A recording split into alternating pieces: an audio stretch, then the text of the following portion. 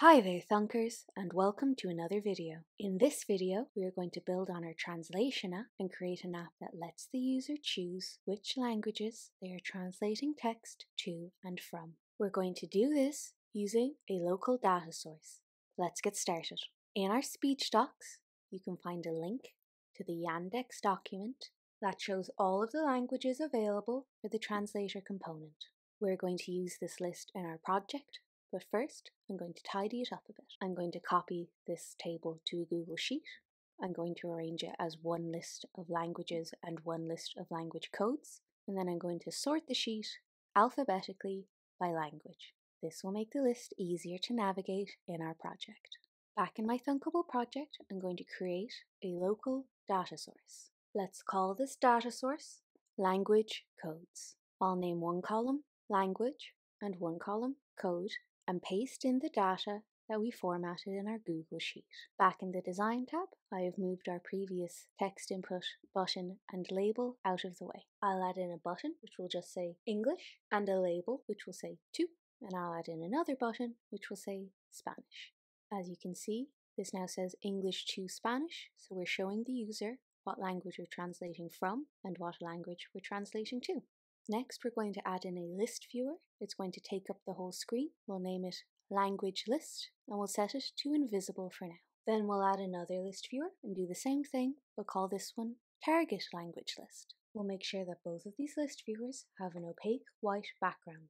We'll also name our buttons source language and target language to indicate that one shows the language that we're translating from and one shows the language we're translating to.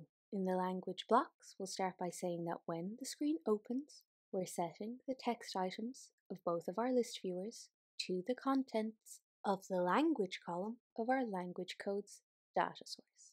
When we click on our source language button, we're going to show our list viewer language list. Let's take this time to initialize two variables. We'll call them source and target. When an item in the language list viewer is clicked, we will set our language source to the value from the codes column for the row whose index is the index from the list viewer that was just selected. We'll set the source languages buttons text to the item that was selected so that the user knows what has currently been selected, and then we'll hide the list viewer again. We can simply copy and place these blocks for the target language button. When we click target language button, we will set the target language list viewer to be visible.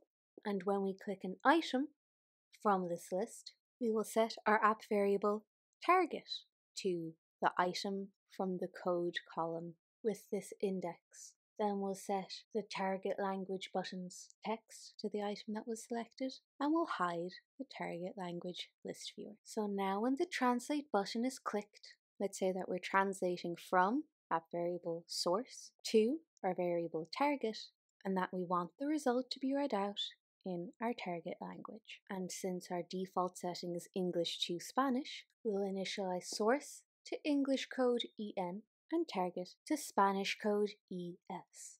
Now let's test it out.